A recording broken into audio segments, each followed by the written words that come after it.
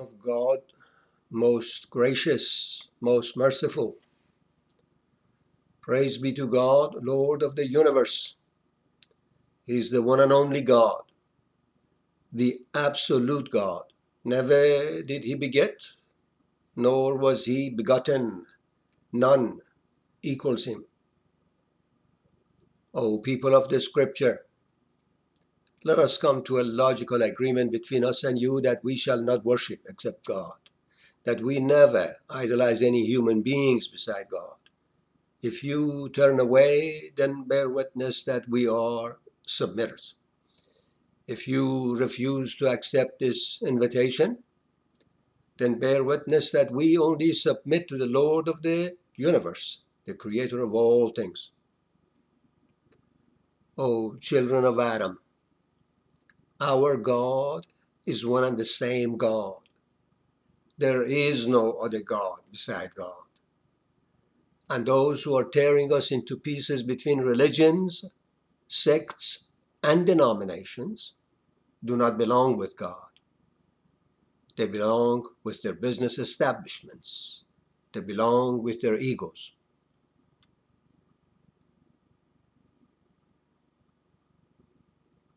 The only religion acceptable to God is the religion of Abraham.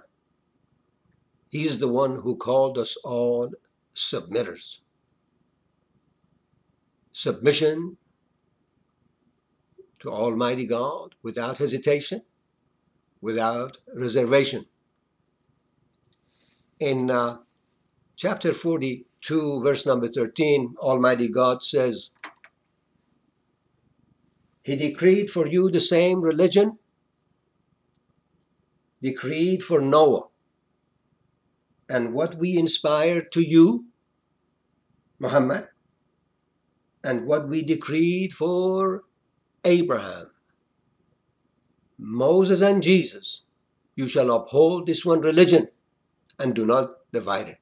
You shall uphold this one religion and do not divide it. Now look at us. All these religions, as if all these religions, monotheistic religions, and so on and so forth, are not enough, then uh, there have sects, denominations with it, division within division. Of course, God says the idol worshippers will greatly resent what you invite them to do. Who are these idol worshippers? These are the religious leaders. Because if we all become united in the name of God, they go out of business. The idol worshippers will greatly resent what you invite them to do. God redeems to himself whomever he wills. He guides to himself only those who totally submit.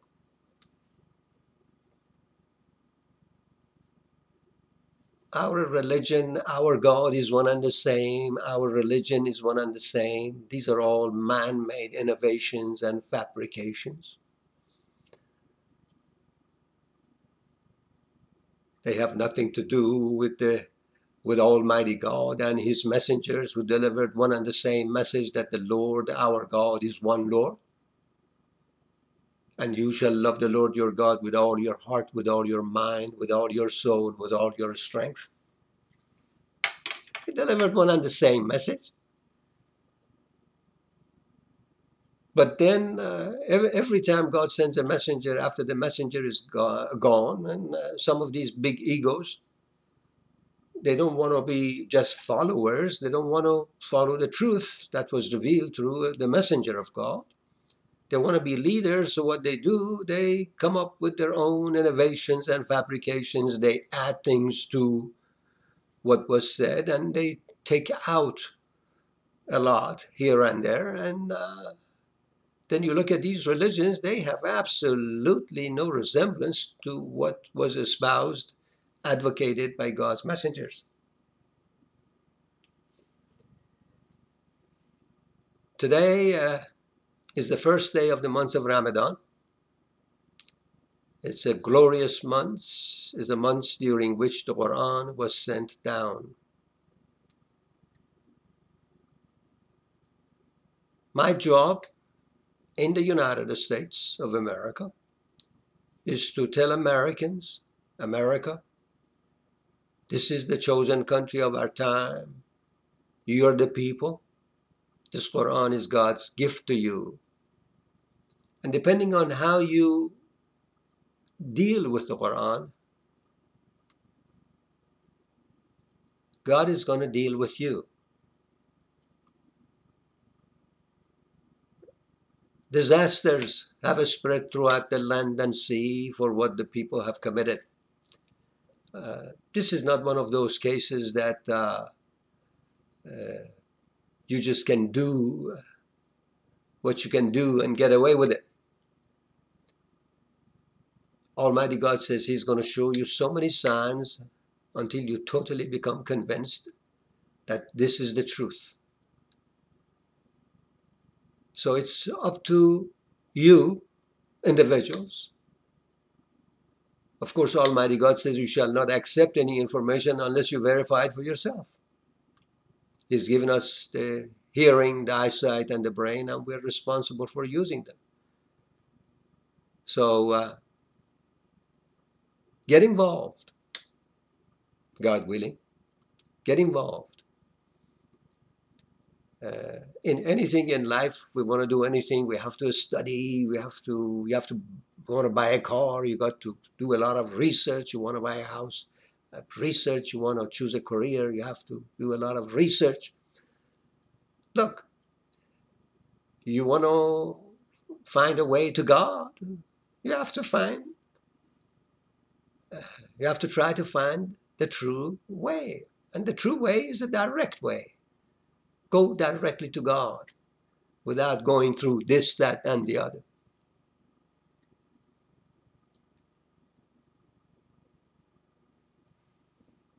To prove, uh, because God says, don't believe anything unless you verify it. You have to have proof. I said, this is country. This is the country. I said, this is the time. Let's look at some of the proofs. America was born on 419, 1775. April 19th, 1775, revolution started. 419.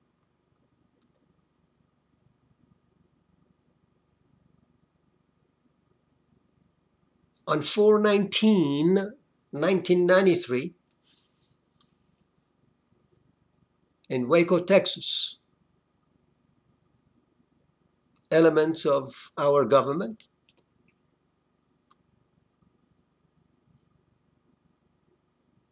killed 76 people, 22 of whom were children. On 4 19 1993, 76 people, and 76 is 4 times 19.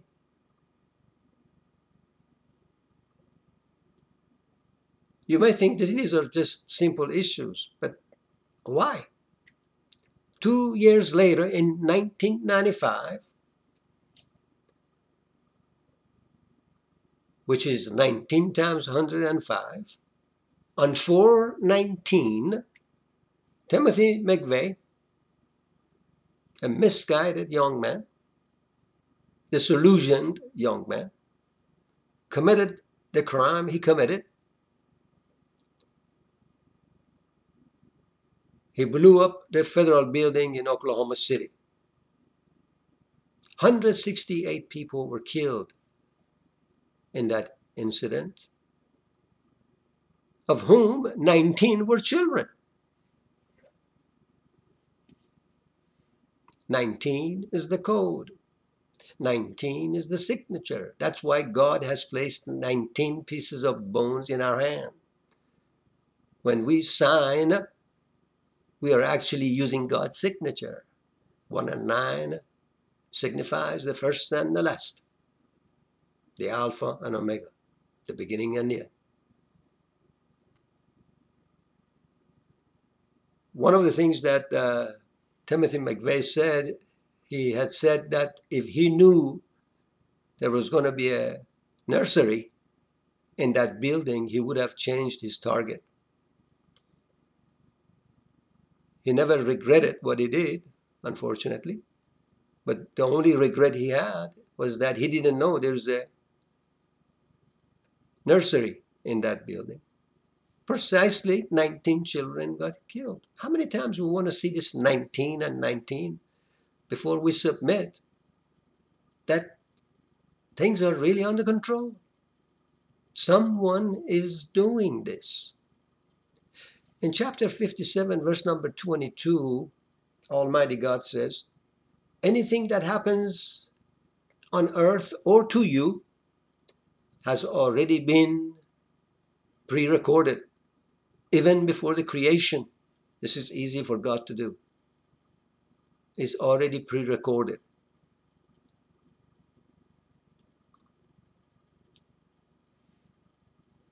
On September 11th, we had four aircrafts, 19 hijackers. Four aircrafts, 19 hijackers. 419 again.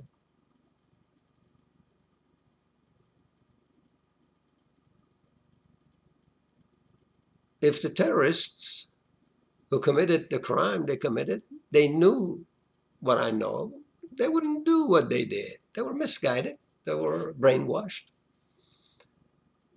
by some of the these devils, mostly elderly. They brainwash these kids to go ahead and get themselves killed and commit commit crimes. We're doing it to our own children too, don't we? Sending our kids to war, making them heroes. Wars, wars, wars. What's the difference between those who are wearing those suicide uh, belts and our kids? Military, military, military, military industrial complex, industry. If becoming heroes is so good, if becoming martyr is so good, why don't the elders, the older guys, take advantage of the opportunity and become martyrs and become heroes?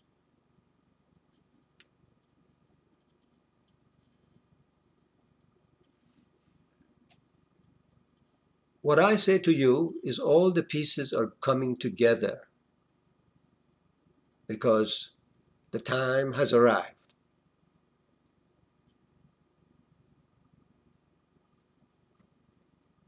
Pope Benedict XVI, he was inaugurated on 419, 2005. When he resigned, 30 days later, Pope Francis was chosen. 30 days. And 30 is the 19th composite number. Prime numbers are numbers that they're divisible by themselves and number one. And composite numbers are divisible by other numbers as well. The first composite number is number four. 30 days later, this new Pope Francis was elected. And how old uh, is Pope Francis? 76 years old? Four times 19?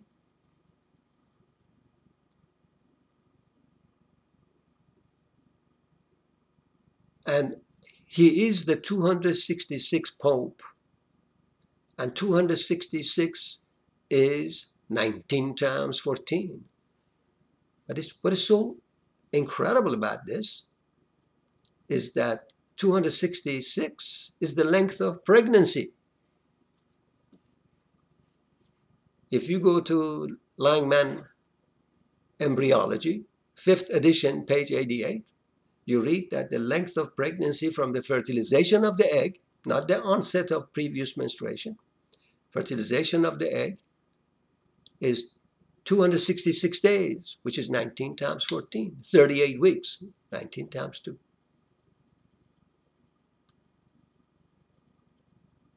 Is uh, the new Pope perhaps the last Pope? The length of pregnancy? Is the baby ready to be delivered?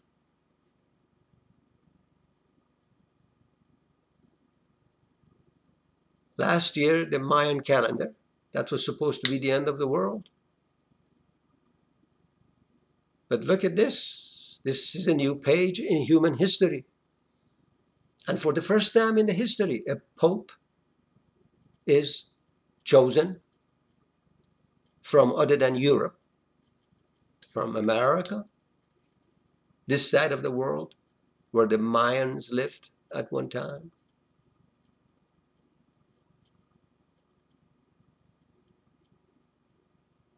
Pope Francis was uh, inaugurated on 319.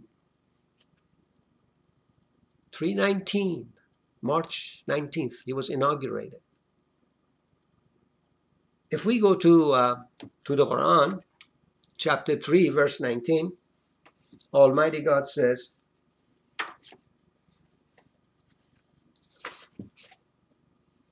The only religion approved by God is submission. Ironically, those who have received the scripture are the ones who dispute this fact, despite the knowledge they have received, due to jealousy. For such rejectors of God's revelations, God is most strict in reckoning. The only religion approved by God is submission. And Abraham was the one who called us submitters. All these religions, the minute you put a name of something or some place next to a religion, that religion is not God's religion anymore. It belongs to other than God. It's not God's religion anymore. Any name you put next to it.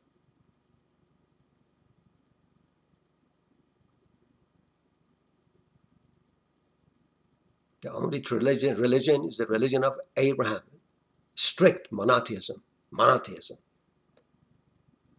You cannot be a monotheist and put a name of a person next to that religion.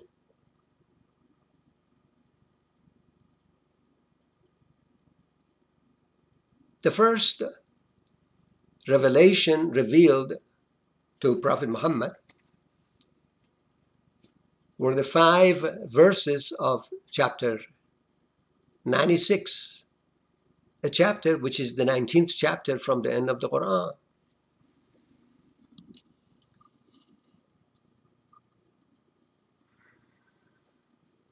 The total number of the letters in these five verses is 76, four times 19. Read in the name of your Lord who created. He created man from an embryo. Read, and your Lord most exalted teaches by the means of the pen. He teaches man what he never knew. This first verse, read in the name of your Lord who created, is the fulfillment of a prophecy made through Moses. If you go to Deuteronomy chapter 18, verses 18 and 19, you read that God says, I shall raise you up a prophet from among your brethren, your cousins, like unto thee, like you, and I shall put my words into his mouth. I shall put my words into his mouth. In other words, this fellow is not going to speak his own words, but he is going to say the things he's going to hear. And this was exactly prophesied by Jesus. I will discuss these things later on in John. As much as they have tried to co- conceal information and corrupt the scripture, God has kept still enough information. And if we be sincerely seeking the truth and find these pieces and put them together, the picture comes out. And in verse number 19, Deuteronomy chapter 18, 19, God says, And it shall come to pass, and it shall come to pass those who do not listen to my words, that he shall speak in my name. They have me to deal with. Their reckoning rests with me. The Quran is the only book that starts in the name of God.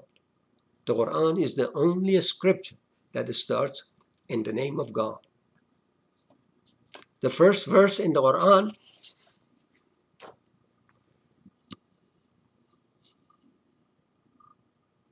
is Bismillah ar-Rahman ar-Rahim, in the name of God, most gracious, most merciful. The first verse in the Quran is made of four words, 19 letters.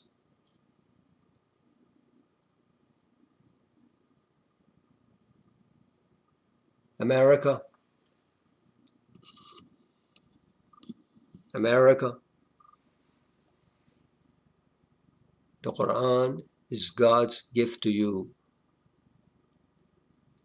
The Quran is far beyond human fabrication. All the computers on earth, they are not going to be able to put together such an awesome text. Mathematically perfect text. Yes, clear revelations without any ambiguity. None of the nonsense that you hear is committed in the so called Muslim countries has nothing to do with the teachings of the Quran.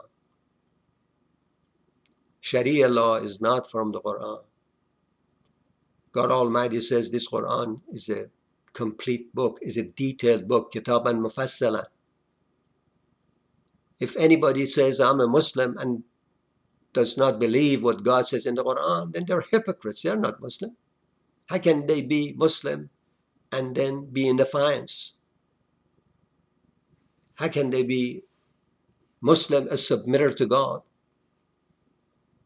and be in defiance? You know, uh, when the Messiah says, The Lord, our God, is one Lord, and you shall love the Lord your God with all your heart, with all your mind, with all your soul, with all your strength. If anyone be able to do that, completely submitting to the mighty God, by definition, that person is a submitter to God. In Arabic, means Muslim. But unfortunately, they made the religion so ugly that nobody wants to have anything to do with it. This is why it is so extremely important to understand the meaning. The meaning rather than playing with words.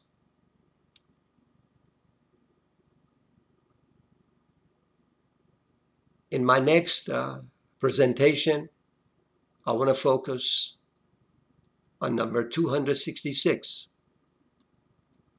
Pope Francis is the 266th Pope, 19 times 14.